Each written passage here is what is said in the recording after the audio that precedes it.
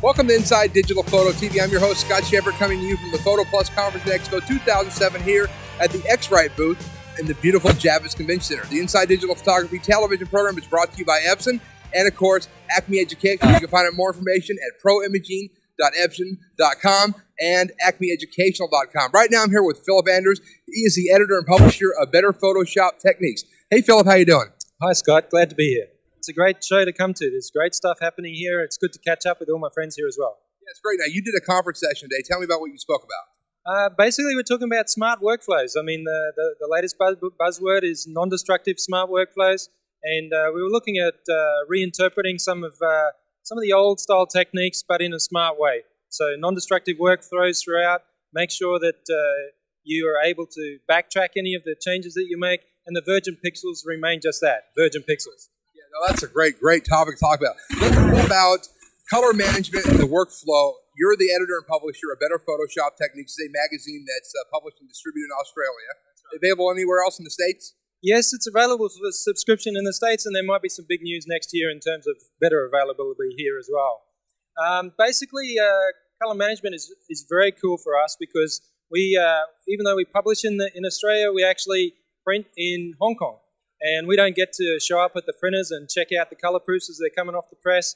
So it's key for us that we have tight color management, both within our own production space, but also with the printers. So by using tight, tight color management, we're able to predict the kind of colors that are coming off their printer, and we use X-Rite to do that.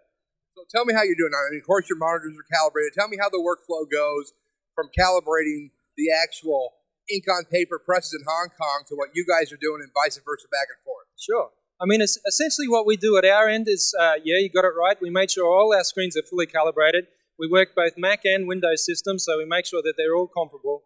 Uh, so that gives us a key, key way to make sure what we're seeing on screen is a good predictor of what we're going to get out on press. Second thing we do is we make sure we have ICC profiles coming from the printers themselves, and we use those as the way of um, us optimizing our output to their press.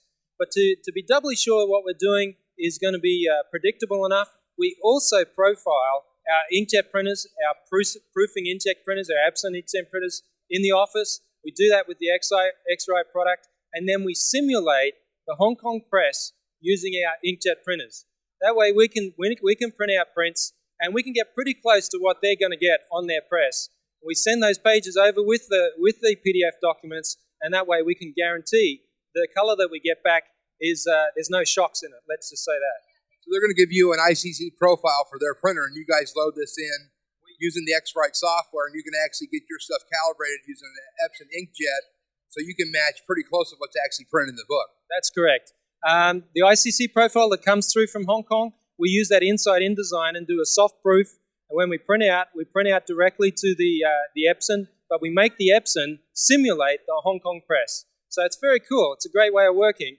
And uh, when you're, you know, six hours on a plane away from the guys who are actually printing and six weeks on a ship for the magazine coming back, and you've already reached into your pocket to pay for that print, you've got to make sure it's going to work. And the X-Rite stuff does. Exactly. You know, it's all about color management because, like you said, with digital photography now and all the stuff going on, if your monitor's not calibrated, and you're not doing printer profiles, especially when you start playing with different papers and stuff, it's really a key thing. That's key. I mean, the, all the advances in the in the software that we use. I mean, we're getting so much so much better color control, so much better better color, uh, the ability to change our colors in our images using Photoshop and Lightroom.